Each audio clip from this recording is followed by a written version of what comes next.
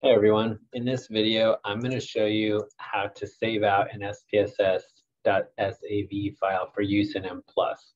So if you're relatively new to M+, you are aware that M doesn't read in SPSS files or .sav files or Stata files or things like that. And so there's a little bit of pre-processing you need to do. So say, for example, you know, you receive a data set and it's in the format we're looking at right now in an SPSS file you know, what are some changes need to make? So I'm going to lay out ways that I've done this in the past and some suggested uh, steps to take to get your data ready. So this is an SPSS data file. So you see variable names at the top. It looks like a spreadsheet.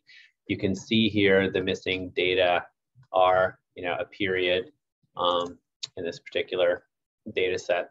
So first thing I generally am going to do is I'm going to run descriptive statistics. So what I'm going to do is I clicked analyze descriptives and I'm going to click on one of the variables and then click control A to highlight all of them, pop them into the variables list. I'm going to click paste.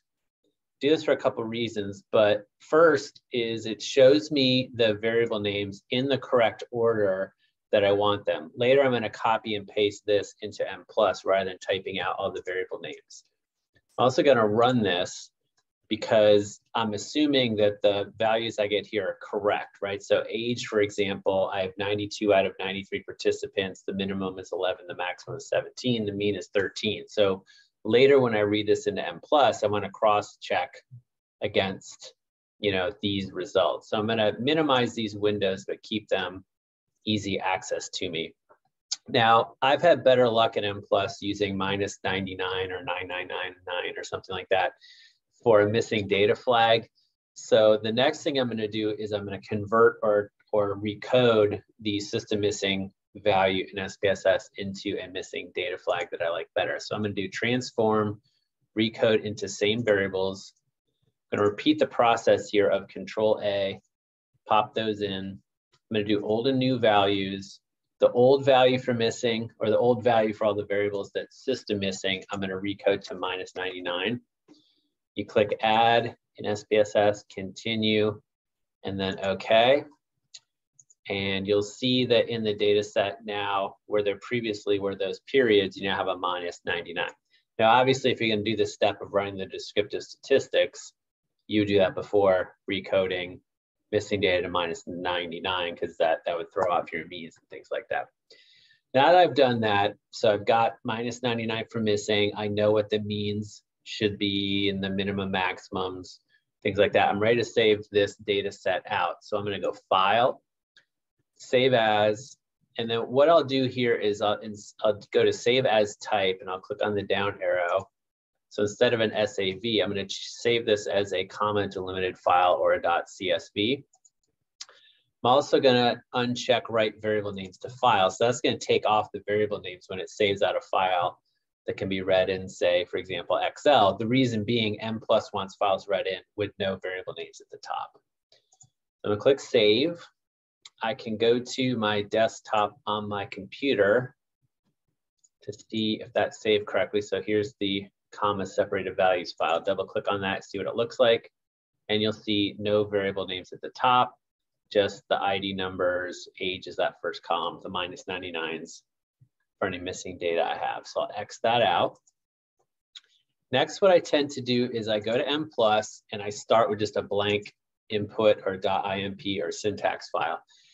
What I like to do when I'm first starting out and reading in a data set that I've saved, and in this case, it's on my desktop, so it's easy to find, but sometimes I have data files kind of buried in, you know, 12 subfolders. So what I'll do is, is I'll use M plus language generator. In this case, it doesn't really matter which I choose. I'm just going to choose SEM.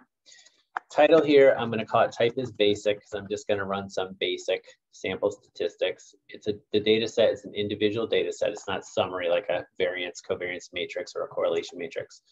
So I'm to click browse, go to my desktop. Now here M plus is defaulting to .dat files. So I have to click all files to get to that CSV. Double click that and click next. Data format is free. Missing data, yes. It's a numeric, numeric flag. next. I could add in variable names, but I have so many variable names here. I'm just going to copy and paste them out from the, the SPSS syntax. So I'm not going to do that. Uh, variable list, I don't need any of this. So the numeric missing value flag was minus 99. It's the same for all the variables, so I make sure that that button is checked. Click next. I don't have grouping variables, weight variables, or categorical variables. I actually do, but I don't care about that at this step, so I'm gonna skip that. Um, I'm gonna ask for type equals basic. It's gonna use maximum likelihood as a default. These are all default kind of commands.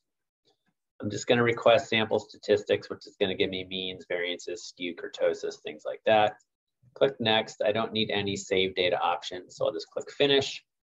Now I've got an input file. So it's telling, it's located the file and put the full address in there. Missing are all minus 99. All I really need here is type is basic.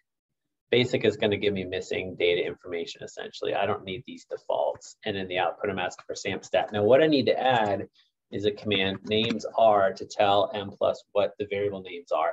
And these, it's very important that these match onto the comma separated, you know, columns, I guess, that M plus is going to encounter. So I'm going to go back to SPSS and I'm going to copy the variable names. I missed the I and ID, so I'm going to do that again. Oh, I messed up again. Uh, click copy. So names are, hit enter and click paste. Now, if you've used M plus for a while, you know that M plus doesn't want the commands to go out past 90 columns. So I'm putting my cursor in front of some of the variable names and hitting enter just to kind of move these over. You also probably discovered that M plus does not like long variable names. So some of these, for example, this one, I could have changed it in SPSS before I started this whole process, but here I could just change it to, you know, shorter. It's eight characters. This is the max that M plus wants to see. It won't give you an error, but sometimes it will lead to problems interpreting your output because M plus will truncate those to eight characters. I also need to add a semicolon here at the end so that M plus knows that's the end of the names are command. So it's now assigned variable names to each of the comma separated columns in the data set. I'm ready to run this. However, if I don't put in a use variables command, M plus is going to think I want to use all of them, including the ID variable, which I don't. So I'm going to say use variables are age through CESD4R. And what that's going to do is give me information on all these variables. Need a semicolon, and I'm going to run that. Uh, when, when you do that, language generator, you then have to ask it. Uh, you have to give the, you have to name the input file before it'll run. Type equals basic with this many variables is going to take a little bit of time. So while that runs, I'll do a quick review of what I just did. So SPSS, saving it out to a file, it can be read in Excel or Notepad or something like that, but that will go into M+. Open the .sav file in SPSS, run descriptive statistics so you can double check later. Use the syntax feature in SPSS to get a list of variable names in order if you want to copy and paste in like I just did. Alternatively, you could have saved out with the variable names at the top into an Excel file and then copied and pasted that into M+. In the second video I'm going to post, I'm going to show you how to do this in RStudio.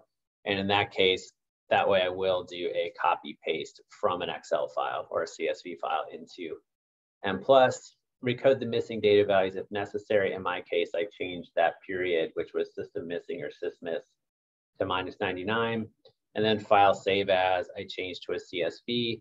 I uncheck write variable names to the file, save the new CSV file. Note the length of variable names. I can either fix it in M plus when assigning variable names. I can edit what I just did when I pasted in, or I can change it in SPSS using the variable view option in M plus, many ways to do this, but one easy way is to use the M plus language generator. It directs M plus to the exact location of the data file without needing the file location. Um, I copied and pasted variable names from the SPSS syntax file. Alternative is to save out names Excel, and then you'll have to delete them later. Be sure the missing flag is correct. Run sampstat type equals basic compared to SPSS output. And that is it. So that should have finished by now. So it's a sample size of 93. It's among middle school students from North Carolina. one thing to notice is I recoded a number of items or reversed them. And so you'll see a warning down below that you can ignore. But M plus, because of type equals basic, is giving me different missing data patterns in my data set. Giving me what's called covariance coverage, or basically what proportion of two variables are available to compute a covariance between those variables. Don't really care about this right now. What I am interested in are the means and the minimums and the maximums just to make sure the data was read incorrectly. So if I go to age, mean of age is 13, minimum is 11, maximum is 17. Go back to the SPSS output file, look at age.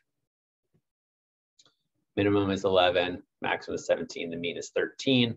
Might want to also check one of my summary composite variables. I'm going to choose what's called FES mod, which is family ethnic socialization.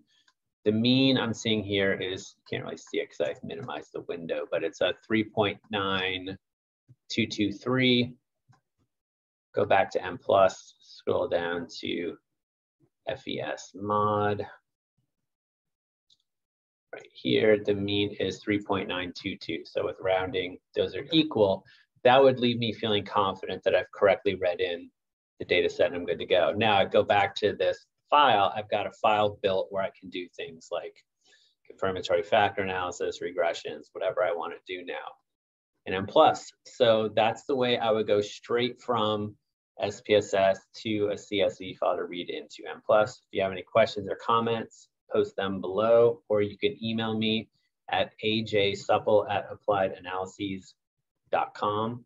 Um, and I, I will be posting a second video if you don't have access to SPSS at all, how to do this all in RStudio. Thanks for watching.